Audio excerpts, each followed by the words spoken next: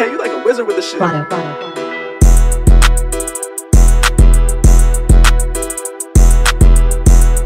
Alright.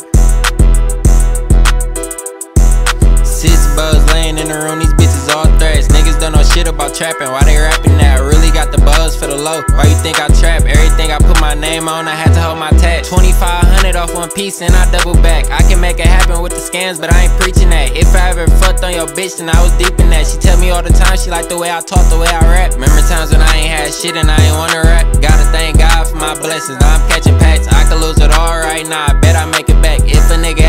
he better run with that. Lil' cousin really got the peas, but he ain't selling wax. I can make it happen off a gram. I bet he double back. Hella nice, I had to take them losses and I sell with that. Dre tell me all the time he on the way home. Shit, it's a bet. 500 spent up on some pants, but I ain't wearing mats. I'm just trying to bust down my wrist just so I can flex. Louis really blessed with the slits, but he ain't placing bets. I could go and fuck up a plug and find a new connect. Niggas always talking loyalty, but where the fuck they at? I don't need no niggas shoot for me, I got my own back. I don't need to count up your cheese, I got my own racks. Young nigga, I was 18 playing with 20 racks. 100k tuck away in a safe, that's how I'm coming next. OT Arizona was on a trip, bitch, I came back. Niggas started I was gonna sink, but I swung back. You ain't having no real motion, posting throwbacks.